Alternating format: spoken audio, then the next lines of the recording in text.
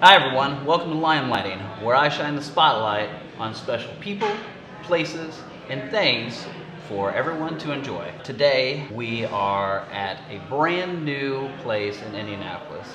This place is called Doughnuts and Dragons. Doughnuts and Dragons is a especially unique place. This place does a focus on specialty craft microbrew beer that's here in Indianapolis, but they also have a cool twist that they make gourmet donuts. They're delicious. They're amazing. Uh, I should have some B-roll playing right now, and the place is bright.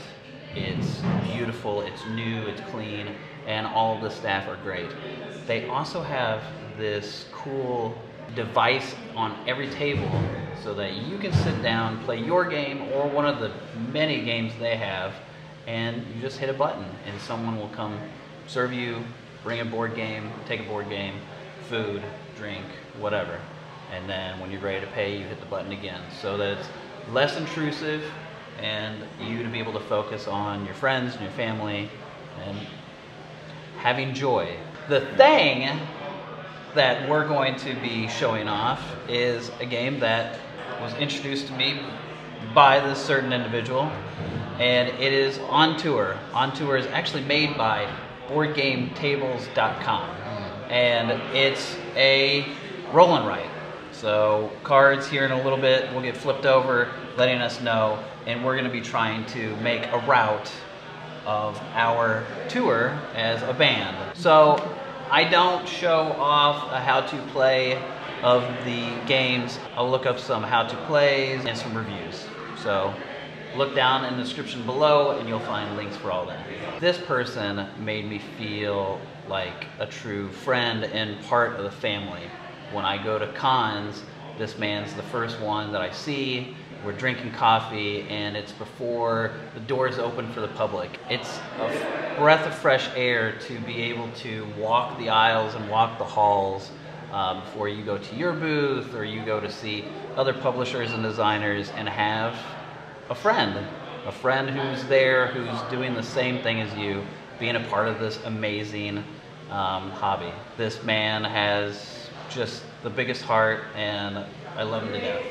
So with me today is Mike Austin. Thank you for having me. You're welcome. So Mike, you're, I, I try to hit everybody that is something different in the hobby. I've done podcasts, I've done reviewers, I've done designers, but your form of, of content is written reviews and written written content. Been doing that for quite some time. Uh, I started off uh, primarily volunteering with the Dice Tower, but even before that, I was writing for anybody who would take a piece and just hear what I have to say about any kind of game. Well, before and, we deep dive into that, I wanted to I want to step back real quick and figure out how you got to the point where you're talking to Tom and other publishers and getting into this. So I'd like to unbox, like, where are you from? So I've uh, grown up my entire life in southern Indiana. Where I live at currently, we are actually just uh, about two minutes away from the Ohio River. You write stuff for the Dice Tower. You write all these amazing articles. Did you go to college for this kind of stuff? From a young age, I always had like a pretty good command of language. Mm-hmm. Uh, I was always really, really good at spelling, like from a very young age, and uh, I had like an interest in making or writing up characters and things like that. Um, but it never, it never really quite started with writing, right? It always started with the bones of it, like the making, like composition itself was not only a focus in college whenever I got there to begin with. I actually started off in fine arts and then eventually as an artist. Yes, I actually drew uh, a lot during my young years. I had a lot of interest in drawing characters and drawing landscapes, villages, architecture. Well, I actually did comic scripts for unique characters that I made. Uh, I even, for a few of them, got printed out and published into a church newsletter that my, oh my family gosh. went to. So that was a thing. And that was all about composition, how to structure something. Okay. And then uh, after I felt a little disillusioned with my future in doing that. No, this is still high school or This whatever. is in college. This is in college. That whenever I had actually started off. So, doing- what college did you go to again? uh, Indiana University Southeast was the college that I went to. Okay. And I did start off there as a fine arts major. After a year of that, I decided, you know what, I'm not really sure about where this is going to go. I determined to find something, and it ended up being English writing. So I picked the writing concentration, where a lot of people were actually literature concentration. What's the difference? Well, writing concentration, you're taking a lot more classes about the bones of writing. So you're talking about uh, argumentation for argumentative writing, which, whereas the literature concentration, which I didn't go into, is so focused about taking apart things that are read. So you're actually you're actually analyzing deeply things that are read, reading all kinds of stories that I had. But it wasn't breaking down breaking something that was already created. It was figuring out the structure for your own creation. Exactly. Our first two cities here. So we got Indiana, and we're going to put an 86 into Indiana. Okay. and then we're going to put a 68 into North Carolina. And we're going to roll these again. I'm going to put a 51 into Arkansas. And then we will put a 15 in Ohio. Which is an awful place for that 15, right? All right, so flip over the cards and let's see what we got. Our first regions are west, north, and east. And our first numbers will be 34 and 43 that we have to place somewhere on the map. Okay. Okay, so let's see here. I have 15, 68, 86, 51, and it's supposed to be least to most. I don't even know. Let's put 43 right here in the west. Let's 34. I'm gonna go to all the states. They're gonna love me. I, I may end up just touring just the West Coast, which is probably appropriate and fine, but we'll find out. Because living in the Midwest, we don't see a whole lot of bands, but when we do, it's awesome. The next pair of numbers, Central, East, and Central. We have to do 76 and 67. Well, 67 right here is great Madness. has to go someplace central. Oh, I forgot to put the 43 down. And you already used your west one. Two. What a toughie. If I could snake it, then maybe. If I could go here and then come back. That's kind of what I've been thinking. One of the things I love about this game is that you do have an incredible play space for decisions. You absolutely because uh, you're not only considering about like just flow of numbers, but you're also doing it about all the different connections that different states do. So, for example, we all acknowledge that uh, New England, which is up here, because of course a lot of the states are condensed because you can't have all of them in here. Sure. But New England only has one connection going to it. So by logic, you know that that's going to be either a really low number or a really high number, right? Whereas Kentucky has all kinds of connections out of it, which makes the options for Kentucky a lot broader. And those Totally, things totally. like mesh together across this whole map, making for a very cool network building experience. You don't get it from a lot of games. There's usually like say a lot of them say a ticket to ride you have an average of maybe three or so connections per Yeah. spot. Whereas this one you actually go one two, in this case one, two, three, four, five, six different connections to some spots. Yeah, And, you're right. Yeah. So like that part of it makes it really, really cool. What games did you play growing up as a kid with your mom? whenever uh, everything that we had, you know, being in that family, uh, was either hand me down or come from a yard sale. But there was a whole lot of chess, checkers, uh, Othello, um, Battleship, uh, Scrabble was a, a big one that I especially played with my mom. Uh, Those my are mom- all those are all good games. Yeah, I, I still think even to this day, like I mean, yeah, they all have their own little like it's super random, it's super duper simple, Mm-hmm. but most of us grew up with those games. They're still good games. And there was a lot of educational, you know, benefit to them as well. Like learning, especially like say with my father, he taught us a lot of uh, card games such as you know hearts, spades, um, golf, uh, five card stud, three card stud, uh, Texas Hold'em, and so I learned about betting, about managing what I had, when you know the as per the, the famous song, uh, know when to hold them, know when to fold them, know when to walk away and when to run. Like that was that was a common song when I was very young, when I was like five or six years old. But then also, say for example with Scrabble, which was a really good way of me connecting with my mother. Um, that also taught me a lot about spelling. And that's actually one of the things that I love about this hobby so much is that uh, we, we get that ability to be able to evangelize in a way Yeah, yeah. of showing off these games to people, uh, blowing someone's mind about, oh, this is actually something I never even thought of. And that's that really is being able to touch on that level is very, very important. So what are our next cards? These are the, the next regions that we have to place into. Okay. Now we have to roll the numbers, and we actually got doubles. So because we got doubles, we get to put a wild, which is just a star. It's not a double. Mm-hmm. Oh, it's not a double? No. Oh, I'm sorry, I'm reading upside down. Oh, well, just cut that out. Just cut that part out. No, I was really saying it now. nah. Anyway, so we actually have to put a 69 and a 96 Okay. in each. In sorry, in two, Two of of these three three. regions. Yep. Alright. Put it here. Put it here.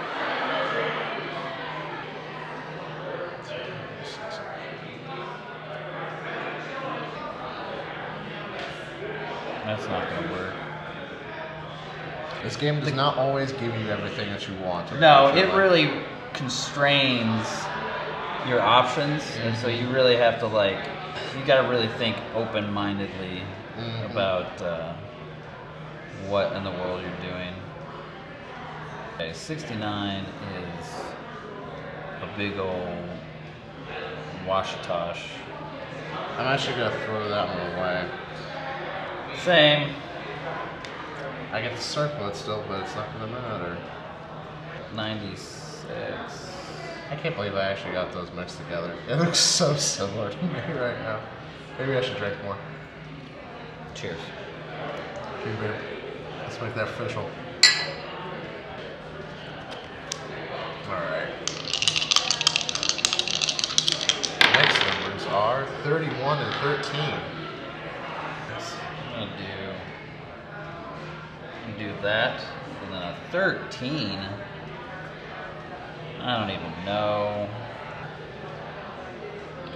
Louisiana, I could probably, I could probably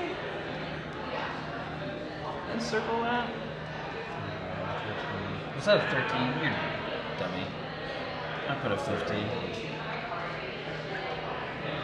when you were a kid, it wasn't board games that you wrote about. You wrote actually about video games, right? Uh, yes, actually. What was Um, your first system that you got? Uh, whenever I was about eight or nine, it's kind of hard to remember. Sure. We got a we got a Super Nintendo. Before I got that Super Nintendo, my mother was just like, "Hey, I got you a subscription to Nintendo Power magazine." Pouring through the whole thing and reading every article, I'd stick it in my book bag and take it to school with me, and I'd show the other kids, and I'd be like, "Oh my gosh, this is so cool! Look what look what's coming out next!" As soon as I got Super Mario World. Now, we, me and my brothers were playing it and everything like that. I started drawing, you know, Mario characters and stuff like that, and I went and did that a bunch. For whatever reason, I, I don't know why I thought this was a, a thing to do, but I wanted to just talk about my favorite games. And so whatever, whenever I got like say Super Mario Kart, I wanted to talk about what I liked and what I didn't like about Super Mario Kart or Donkey Kong Country or whatever the case may be. And I would write a letter in and I'd put it in an envelope and I'd steal a stamp from my mother's bedroom and I'd put it in the mailbox and send it off to Nintendo. As far as I know, I don't even know if they even got them. I have no idea. It's not like they ever got returned, but not, I never saw anything from it. But I was always sitting there just hoping like That's still cool. they love to see what I have to say about games. And I was doing that right from that young age. It was all about what what those games sparked in me. The, the thing was, I knew that there was somebody out there who was making something to inspire joy in some kid somewhere else, right?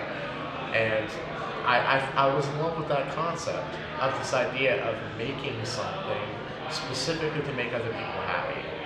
You can pull one idea and somebody else is doing it in a different format, different content. Mm-hmm. You know, podcaster to reviewer to videography to written content. Exactly. And I I think everybody is kind of chasing that same sort of thing. We all have a fascination with how they're made, a fascination with the people that make them, and a fascination with the people that play them. And I think that's that's something that we all kind of share in the industry and what we do. Is we all are we're all obsessed with that that joy one way or the other. There's people that love to create things one way or the other. That's probably the biggest lessons you'll learn from life. You should just make something. It's what you're here for. It's the thing that's going to outlast you is making things. Whether it's you know writing about something or making a game or even just making memories with people, like sitting down with a game. So Like this one. like this one. I fell in love with this game right from the rules because BoardGameTables.com had actually sent uh, the rule books out to. It was just an email spread. I don't think it was any, very deliberate, but they had sent it out to a bunch of people. So I actually got a, a copy of the rules before the game hit out, and then they just said, "Hey, if you have any feedback, here's a Google sheet that you can go and send us feedback on." So I read through the rule book, and of course, the rule book is only a few pages. It's not really long. Right. And, but as soon as I read through the rules, I was like, "Oh, this is actually really good." Uh, I wonder, I wonder what this is actually going to look like because you see the maps and stuff like that on there, but I want to see what the components actually did, and that's what drove me to Rahdo's uh, playthrough. I'm really impressed with like the production value of this giant board, all glossy and and these beautiful linen finished cards. Uh, like These very giant oddly dice. shaped cards, by the way. They're not. ex- They're about tarot shape. I'm not exactly sure if they're the exact same No, uh, size as tarot, But, like- they're still huge and they're very impressive looking. and they even make the box so that if you wanted to go get more boards, they'll sell the boards separately. So like I think it comes with four, but you could fit like eight to ten. Up to 12, actually, Oh. yeah. Up to 12 in the box. And that, I mean, that's still a very good number for most parties. Now, granted, there's a lot of the roll and writes that go in and advertise it. we can play up to 99. Even with this game, like, as Rahdo uh, had pointed out, you can just print off a sheet and follow on a live stream. That's true. And everybody who's watching can play. That's true. And that's, it, it, it is a testament to not only how good Roll and Writes are and why I think Roll and Writes have gotten so popular because they're so flexible in what they can do. But the other thing is that they really can like reach a whole wider audience than a lot of other games can. Not only just because of there's ease of setup, like we really just put out these boards here, set up cards, roll, roll some dice, and we're done. Yeah. There's not a whole lot of rules to them. As I mentioned before, having read rules on this game, I immediately fell in love with it. And it's Right. not that it's not that dense. So the, the, the quickness, the ease of access of it, of it, all of that is a testament to not only the genre, but how this game has followed in our footsteps. Let's see our new numbers. Let's see it. What do you got? 46 and 64. This is actually technically great, and then also awful. Um, So I can put 64 in Georgia, which is right next to 67 South Carolina, right next to 68 in North Carolina. If I can loop it back to Tennessee in the 70s, so then 51 here in Arkansas, and I can do a 46 in Oklahoma. Ooh, I could do a 46 in Texas and get a circle. Okay, all right, okay. That's what I'm doing. Um, my route is real weird. so, yeah, mine's not good. Now, one thing about this game is you can, of course, draw preliminary lines to sort of kind of plan out what you're doing so you don't lose track of things. That's probably a good idea So I'm- because I'm, like, this is definitely happening here. Yeah, and I'm I need are- to do I need to make sure to do the same because Those are locked. Otherwise, I'll trap myself. And I need to go this way. Do you continue writing reviews and sending them to other people while you're in college? Who was the first one? Because you're already making a face that says you probably did. Yeah. All right. So who was the first person and what game? And I'm assuming it was a video game still, right? Yes, and I believe the very very first one, whenever 1UP.com was out, I had wrote a review for a game on the GameCube called Baten Kaitos. And it was a card-based sort of RPG game. I had a preliminary blog that just had copies of like reviews that I had done. Who were who were the next people? I, I believe around 2015, 2014 So was when I you tried to send in articles to The Escapist and to Giant Bomb. And those are your Uh, portfolios and your copies. Yeah, and I sent an article, and then that didn't go anywhere. They didn't publish anything, but I tried. The Right. important thing was to try. Right. What was the first post-modern board game you started to play? Carcassonne was the very first game.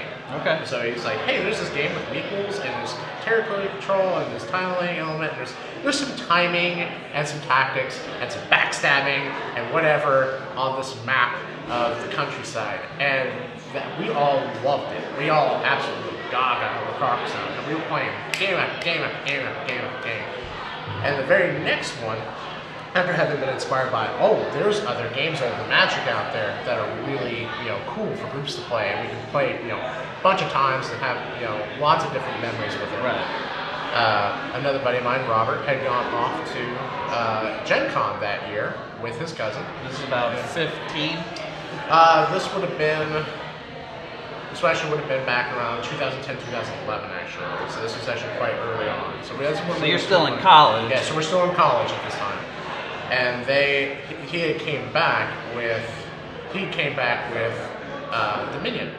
Oh. So that was the that was the next one. So Dominion, we, uh, as a lot of people can probably attest, Dominion was a bombshell. Yeah. It just took off. We were constantly playing, playing with different setups of cards, and then we started hungering for the expansions. So we went out and got the expansions. I mean, it's like the granddaddy of deck builders. Absolutely. It's like that's where everybody got introduced before Clank, before Star Realms or Hero Realms. It was Dominion that introduced everybody to what the idea and the mechanisms behind deck building. There's a lot of uh, there's a lot of pleasure also out of that game, joy as we've been saying, in not only what your opponents do, but also uh, your own hubris.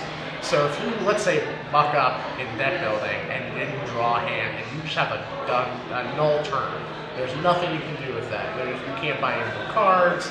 You just have to pass and do whatever. You probably will laugh because some, uh, something bad has gone wrong. It's either somebody had loaded up your deck with stuff or you had done it. One of those two things, and there's a lot of joy in that. There was there was a lot of that in Dominion that we enjoyed, that we got pleasure from, and not the opposite. And so that was one of the intriguing parts about deck builders. So that also led to the next one we played was Ascension. Not too long after that, so we'll say like after graduation, we'll say about the 2013, 2012, 2012, 2013 era was when we just everything just took off. We were hunting down other games and looking up reviews. We found Board Game Geek, and I started watching, you know, Shut Up and Sit Down and Tom Vasel reviews for board games. They bring joy, man. Absolutely. It's, that's what it really is all about. That on one end, you have people that love playing the games just to play the games. And then there's other people that they don't really care so much about the games, they care about the people. And never, everybody lands on that somewhere uh, the other. But the, the fact is that playing a board game isn't always just a factor of we're playing this to play the game or we're playing this to play with friends. It's you're going to do both at some in some capacity, one way or the other. So we have east, north, and west. Sure do. And we Virginia, have 51 and 15. 51 and 15. Now you can put a 51 next to a 51, right? Absolutely. Like they still connect. Mm-hmm. Okay. They sure do. All right. All right. Well, I'm putting 51 in New England. And 15. I actually don't know why I put that there because I know that's not that's a dead space. 51. I got a 15 that's way out in the middle of no man's land. I'm doing a 15. Can I do it? Yeah, can. Yeah, can. 15 in New Mexico. Yep. So. so Our next numbers are Ooh, 10 and 1. All right. What is it that made you go? This is what I should be writing about. Everybody knew that I wanted to be involved in games in some capacity. Mhm. that same friend who had uh, introduced us all to Dominion also had seen on the Dice Tower Guild page uh, a post asking for contributors to Dice Tower News. And of course, he knew that I write a lot. He knew that I'm interested in doing this kind of thing. He said, "Hey, this is something you probably might want to look into." So that, of course, led me to uh, me uh, emailing Rob Searing. And I started off. This was in November of 2015, was when I started off doing this. Um, and I, my first article that I wrote for Dice Tower News was over uh, Simurgh. It was a, a dragon-themed uh, worker placement game. Um, so already had seen a press release, first time seeing that, first time uh, looking at a game that no knowledge of and doing the best I can to write about that. And the article did, you know, well enough for what it was, and I was very proud of it. And I just kept rolling with it. I was very dedicated to it. I was like, I'm just gonna, I'm gonna do as much as I possibly can. Every week I was writing another article, reading up, reading up more stuff, possibly trying to push myself as best as I could to go and do as much writing as I possibly could in that time. And so I kept to a pretty good clip to it. Of like how much how much were you doing? It was it was at least one or two a week. Everything that we wrote about was uh, Oh. was just was just stuff that's on Kickstarter or stuff that was releasing. So these were just press releases. So, Okay. So uh, oftentimes I was writing a lot about games that hadn't I hadn't even touched. Oh, So I'd have to read up the rule books. I was reading a lot of rule books uh, for games that I had no no even interest in going and playing, but I had to do that and then speak honestly about them in some capacity. And that that was the challenge. That was the challenge is to talk about games all the time, even ones that I wasn't excited about. Huh, that's interesting. I don't, because my idea was like, oh, I can't write or talk about something unless I have, you know, a physical copy. Mm-hmm. How do you write about a game that you've never touched? Yeah, I think it really came down to everything that came before. We're talking about all my knowledge from video games and talking about games and game design, my knowledge of uh, every, every like modern mechanics for war games, and having read several rule books before that point, I was very adept at being able to figure out how a game plays visually in my head. So I was very able to figure out, hey, this is how this this is how this works. This is what's actually exciting about this game. Like this is the mechanic, this is the twist that the designer wants you to see on a demo table to get there. And that's the thing I would highlight. Whenever I would start talking more about a game, My structure for writing the article would always be, here's the basis of what this is, here's the stats, you know, it plays this many players, it does about this long, so on and so forth. And now I get to, here's why you should look at it and that was be that be the hook, and that'd be the thing that we try to use all the time in articles. We, we weren't always necessarily you know told, hey, this is your structure for your articles you should use, but that was the one that I found that worked, and that was the one that I uh, stuck to for so long. That's neat. Over 170 articles written for Dice Tower News over the years. Like to this date now? To this day. To this day. Now, do you still do an article for the Dice Tower Yes, I do. every week? Uh, not every week so much. It, it, it varies depending on at time, uh, how many press releases we have, because news kind of sputters in and out. There's certain periods where it's really, really vibrant. There's lots of news, and there's not. We just came out at the winter period, so around Christmas time, the news kind of dies down a little bit, and it picks up towards Kickstarter season, which we're just kicking off right now. You know, tax season and Kickstarter season are ubiquitous with each other. Sure, so like we're sure. use, we're That makes sense. both of those. But uh, that's that's definitely the thing that uh, uh, you just kind of get used to over time is like when when the timing of everything. But I did write an article literally this last week. Do you do mainly still press releases? Do you do reviews, or do you do a mix of press releases, news? I try to do And reviews. reviews. in different formats over the years outside of Dice Tower News. So when I'm on BGG, I've tried doing a couple of reviews, especially through comments, to try to. That was one way that I actually get a lot of my knowledge from board games is through the comments section on Board Game Geek. So I would always try to uh, to submit a kind of a thick review of a game through there. And I know there's. A, I'm not the only one by far. There's quite a few other users that do this. I think it's a va- valuable tool. But it, it is reviewing without wanting anything back. There's no Patreon attached to it. There's no advertisements attached to it. It's just you reviewing for the sake of reviewing, and that is probably how I will continue to do that. Is I will always do reviews that are just free for the public because that's how I think it should be. Gotcha. I do it absolutely uh, for the love of my heart, and to have it there for that's uh, like easy for people to see. I'm gonna throw them up here if I can. And where are you throwing that at? Up in Montana. Gotcha.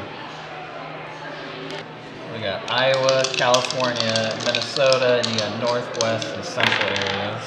We have 31 and 13, which we've also seen before. 31 and 13. Mm-hmm. At 13 would have been in a good spot, but now it's not. I'm not really able to use all my numbers efficiently. Uh, it sucks, but at the same time, it's just something that's just gotta do. with. Oh man, let me throw that in California. There you go. I actually kind of uh, feel this is a very appropriate analogy to life in a lot of ways because you have excitements and disappointments and that sort of that buoy curve that just kind of happens all the time like you have like just great mounts great great peaks of just that's exactly what i needed versus just like what has happened this is terrible that just happens so frequently throughout this entire game Oh, so we got a wild now so I can do stars anywhere here, here, or Yeah, here. and of course, if you put it in the, you're only going to put the one star. You don't put two, you just put the one. But of course, if you just do still put it in the uh, in the also state, get you get to circle. circle it. So that's important to know as well. I feel like I'm gonna have to put a star. Oh, can I put it up there? Oh, I can. Alright. I gotta put a star in between 10 and 1. There's no way.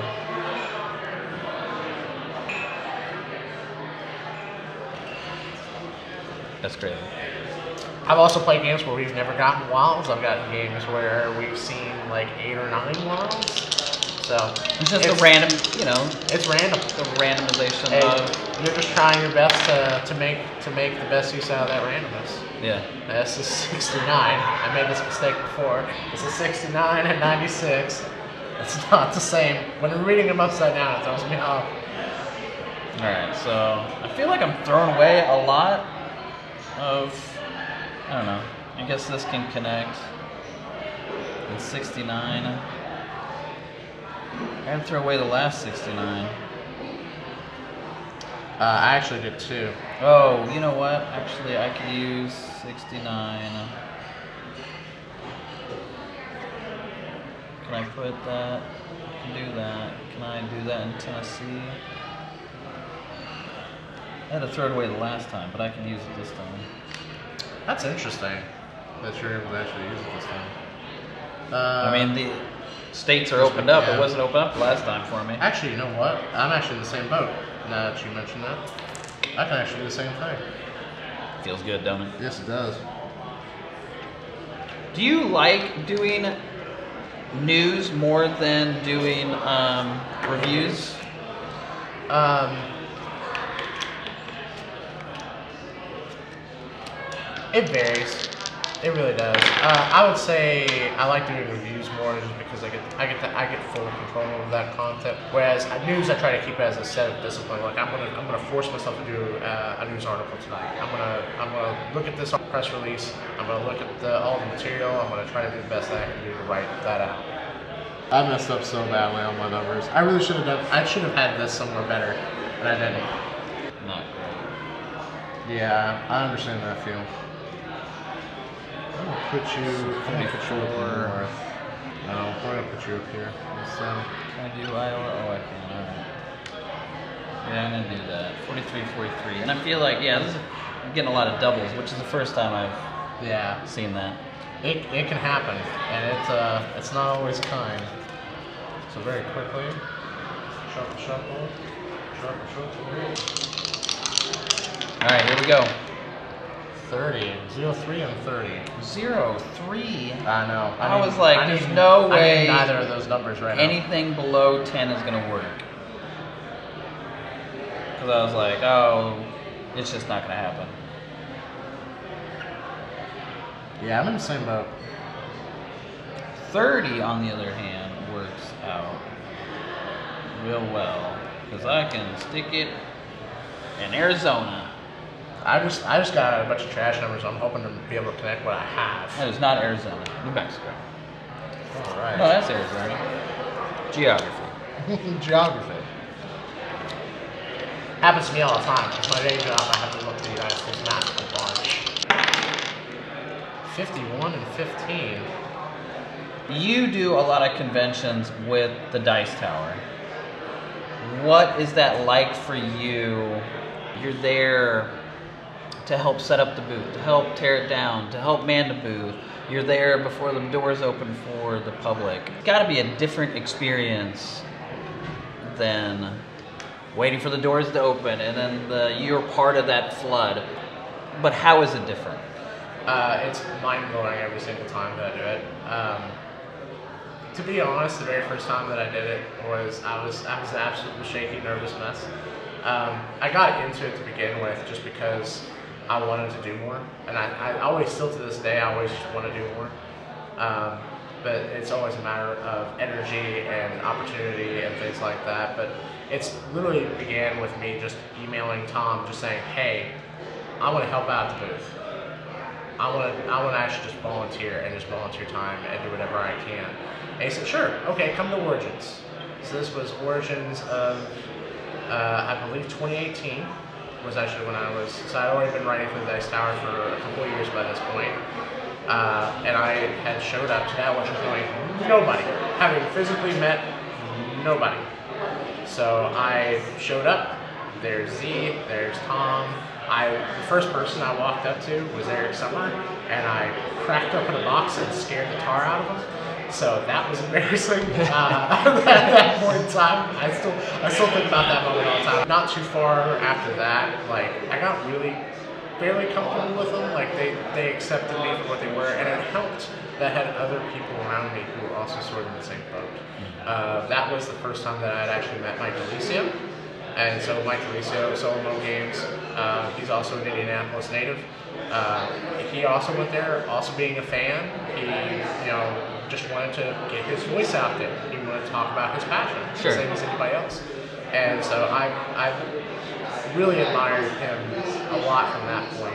and I, I love having that connection with him. And I also, uh, inadvertently, just by name alone, us being called Mike and Mike, also met Mike Parkinson, who I, I remembered seeing his videos on the Dice Tower about how he did a lot of uh, upgraded components for games. He loved to do a lot of crafty things. Yeah. You know, me walking into that into that convention hall and being able to like I think you handed me a cup of coffee and then, you know, walked around with me. Um, it was it's not like it's overwhelming because it's very quiet. Uh, you need to get to your booth and maybe restock and do that kind of stuff. Um, but there, I guess there is a small overwhelmingness to it, and to have somebody that you know is a friend and someone that will, hey, come with me, and you know, I'll show you around. I think that's I think that's really what everybody wants in some capacity was to was to have that kind of connection. There's a lot of people that are just there to do business, right? Mm-hmm. Like everybody's here to work, everybody's here to do whatever. That is absolutely necessary. Because cons take an incredible amount of time, attention, and energy. But when you have those moments where somebody just sits back there and talks with you, and you know, sit down, let's chat, let's go have a walk or whatever. All those moments are special. I remember pretty much all of those over the years. There's something about meeting these people that is that's very special to me. Yeah. And building new friendships is always special to me. And building friendship with these with these people have been, you know, with Tom, with Lizzie, with Mike. Um, it's I, I use this phrase all the time. It's magical, and Yeah. is. It, it's very special It to me. is. I love Because I, I- love my convention family. I think anybody can get in and anybody can do this. It's another reason why I do these videos is anybody can can participate and do something. Volunteering, videos, written, podcasting.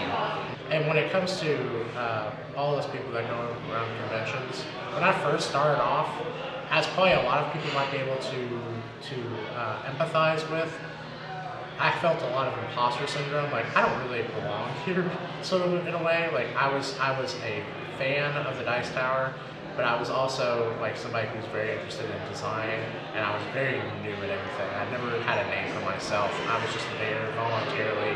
Hey, I'm here to work. Hey, I'm here to do whatever. And I realized not too long after, everybody is that way. Everybody is that way at some point in time or another. Um, the there's several people, Mark included, uh, that we both love and adore. Um, also, Eric Summerer started off as a fan before he started doing work for the Dice Tower. So after learning about those people and meeting them and understanding that thing, I got a lot more comfortable with it. I'm like, we're all just here because we love games and we love how way it makes us feel. We love the way it's impacted our lives. We want to share that with people, and we want to try to do our work as best as we can for them. We want to contribute back to them. Have you written your two numbers down? Uh, I've written. See, I've written my 51s, and I've written my 15s. So yeah, I'm good. Okay.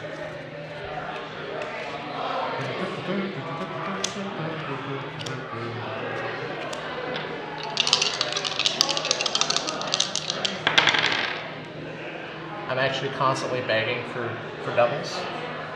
Let's see here. I- That's not exactly true, ladies and Oh, gentlemen. I'm actually having a wonderful time, Can I? but it is hard. I'm getting wrecked. It is not easy. And then 56. I can put that in Mississippi down here. I need 70s and 80s stuff. and I need can 7s do- and 8s to be in there. Alright. Get this, get this Yeah, trash out of my face. Central, so. It's so rare to see all of them be the same races at this point to me. Because I, th- I think it has to do with how well the deck has been shuffled and then uh, left to its own devices. 47 and 74. 74. 74 helps a lot. Can I put it in Kentucky? Yes, you can. Can. Is that where you put it? Yes, it is. All right. I'm like, you were really quick to answer that. because I was looking at it really hard. I was like, I really need you right oh no, there. can I put it there? Oh, I don't know. Did I just do bad things? Oh no, I might have just messed up. Oh no, did you? Oh yeah. 69 was my last one, right? Mm-hmm. I actually Oh, do think man. ours was really pretty close. That's just a gut feeling that has nothing to do with any actual uh, analysis whatsoever. And then 47. Oh man, so much pressure. It's uh, it's Ugh. getting spicy. Ugh. It's getting it's getting real spicy. Oh man. I'm not. I'm not. Pressure from such a simple game. It is. I love it, but that doesn't mean it doesn't hurt me sometimes. That's 83 and 38.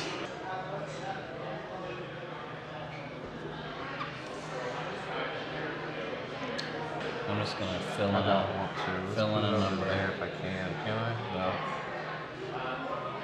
Wow. I can put you right here. So it's going around and then coming over here. There's technically almost more points up north now than there is down south. I need some kind of a high 50s, low 60s. hmm And that's the one I don't need. And I basically that's the, and uh, I don't hit the New England area because I cut myself off. ah, we're never, we're never gonna see triples out there.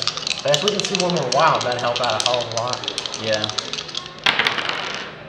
Oh, 43 and 34 again. I'm running out of dead space. Me too. Uh, well, I have a great spot for it, but I can't put it there because of the cards. Yeah. That hurts me a lot. So I can do that. And then 34, I don't know. I'm just gonna. oof, Yeah, I'm not using these, right? oof, Yeah, I'm not using these. oof. Alright. I can still make it work though, and not take any penalties.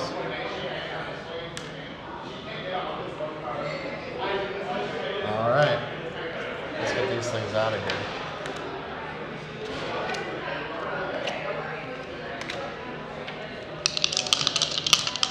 Alright. Bring it in. Uh, 97 and 79. Oh, that's. I'll put that 97 here. I like put myself into a corner where I need Oh, I a do. very specific number. I do, I'm the same way. 79. All right, I'm done. Just throw it away. Same. Alright. That did not help me. Uh, now hold on. Do you have. I think I'm, I'm missing a number somewhere. You, I don't think you put a 15 down again. So yeah, oh, how many 15s? One, two, three 15s. So if you don't Okay. have another, I have to put an X, so I'll put an X. So this last one, Yep. we actually don't care about these. We only, we only drew them just for the well, I wilds. got two blanks. Oh, do you have two blanks? Yeah, Oh, okay. That's strange. Because we only had, uh, you have two blanks. yeah, I have two blanks. Okay, so we're actually on the same boat. That's fine. So these are our last two numbers. Uh, Alright. That also means the locations don't matter, so you just place them wherever. We only Because these are the last two. Because of the last two. Right. So it's just the numbers. Oh, 86 and 68. No. Oh, that's great. No, it's not. I actually did need that. Oh, that cuts my tour. All right. I actually did. That's the exact number I needed. Ah. That's. Oh man, that hurts. Uh, all right.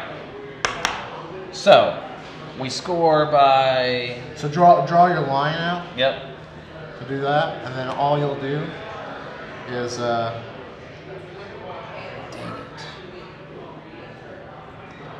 I lost like one state out of it, but that's fine. Oh, I Uh, lost. so you'll you'll count I lost a whole territory. you'll count you'll count all the states Yep. that are in the line. That are connected. Yeah, and then you'll uh, all of the ones that have circles you'll add Count up after one that, and then the total is what you'll have.